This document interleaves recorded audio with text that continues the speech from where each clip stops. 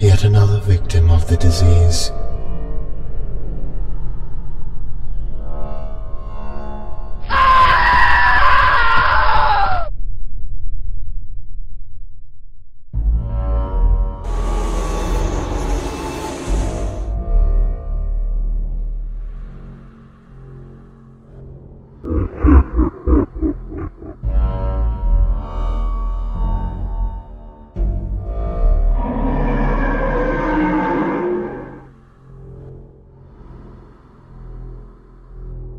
You need my help.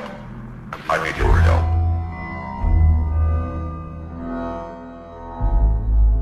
I'll give you one more chance here.